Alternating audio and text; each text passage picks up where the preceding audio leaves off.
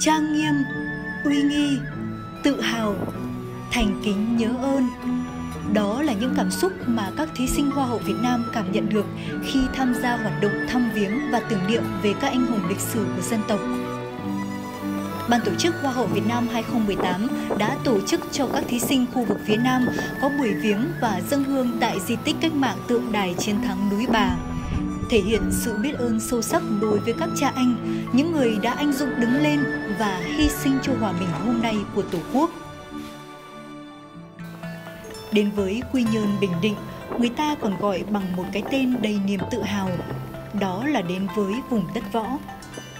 Tại đây cũng có một anh hùng dân tộc mà chúng ta đời đời nhớ ơn, đó chính là vua Quang Trung.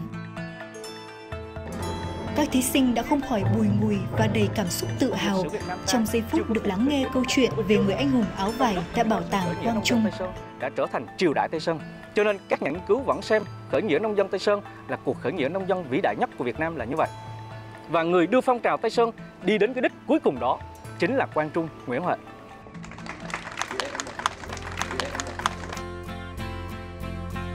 Không chỉ được lắng nghe, các thí sinh còn được chạm vào lịch sử với những hiện vật đang được lưu giữ tại đây.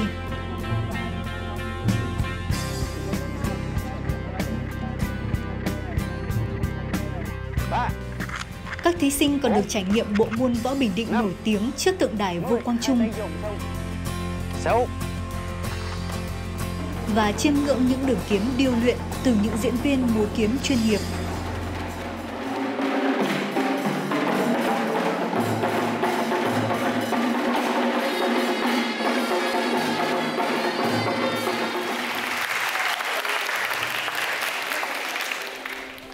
Là một người con của Bình Định, ngày hôm nay Thu Chiêu và các thí sinh đã về Quy Nhơn để theo hành trình của Hoa hậu Việt Nam 2018.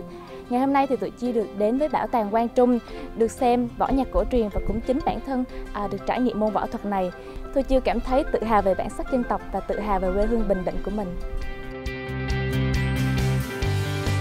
Giờ Bảo tàng Quang Trung, thí sinh Hoa hậu Việt Nam 2018 tiếp tục đến với gành ráng, địa danh nổi tiếng của Quy Nhơn.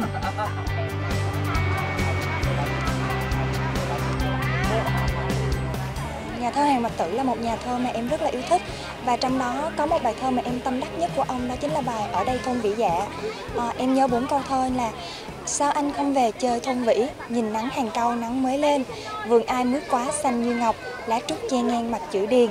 Khi mà em học bài thơ này trên lớp thì em cảm thấy là đây là một bài thơ rất là hay và cảm động. Đó là những cảm xúc từ các cô gái trẻ của cuộc thi Hoa hậu Việt Nam 2018 khi đến viếng mộ Hàn Mạc Tử, một trong những hoạt động đồng hành ý nghĩa của cuộc thi. Lá ủ dâu ngàn yến lại qua, bàn bè rượu thơ ngâm bàn vắng, lãng lai tình cảnh nhớ người xa. Hương đưa giá thoảng mai hờ hững, bóng gợn hồ in liệu thiết tha, Ngày 20 tháng 9 năm 1940, Lửa Rũ Kha, người dành chọn đời mình cho thơ Hàn Mặc Tử chia sẻ để hiểu và cảm nhận được sự tài hoa của một người thi sĩ bạc mệnh mà rất được nhiều thế hệ đã yêu mến. Hàn Mặc Tử có duyên với bốn chữ Bình, sinh tại Quảng Bình, làm báo ở Tân Bình, có người yêu ở Bình Thuận và mất tại Bình Định.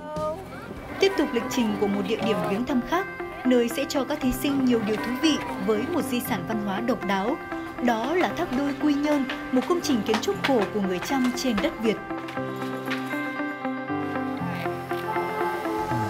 Dạ, tôi có xin ờ, chào mừng các thí sinh Hoa hậu Việt Nam năm 2018 đến tham quan khu di tích Tháp Đôi. Đến với khu di tích Đôi, chúng ta sẽ được tìm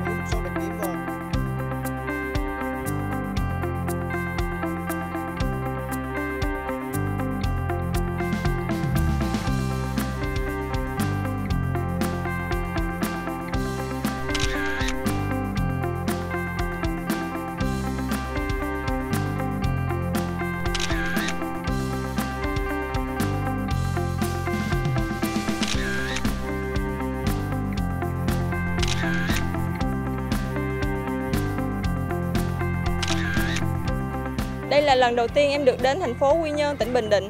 Trong những ngày đồng hành cùng Hoa hậu Việt Nam 2018, em được đến dân hương ở tượng đài chiến thắng núi Bà, được đến tham quan tháp đôi, đã giúp cho em có nhiều trải nghiệm và giúp em hiểu biết được nhiều hơn về di tích lịch sử cũng như văn hóa. Xin chào mọi người, mình tên là Mỹ Duyên, còn đây là mình tên là Quỳnh. Chúng mình là thí sinh Hoa hậu Việt Nam 2018. Quỳnh cũng là lần đầu tiên đi tới đây đúng không? À, đúng rồi, đây là lần đầu tiên mình đến tham quan nơi đây Thì có vẻ là chuyến đi mà khiến mình ấn tượng và thú vị nhất là được đi viếng thăm tượng đài chiến thắng Đây là một nơi vô cùng linh thiêng và đầy tự hào Chính là cơ hội chúng ta có thể thể hiện lòng biết ơn tự hào với những anh hùng đã hy sinh, anh dũng vì đất nước Còn Duyên thì sao? Duyên có ấn tượng với địa điểm nào không? Khi lần đầu tiên Duyên đến Bình Định thì Duyên cảm thấy là không khí ở đây rất là trong lành và người dân rất là thân thiện và dễ thương và cuối cùng là mình được tới với tháp đôi thì duyên cảm thấy là ở đây là công trình kiến trúc rất là độc đáo và mình cảm thấy rất là lạ lẫm khi mà sao có thể xây được cái công trình như thế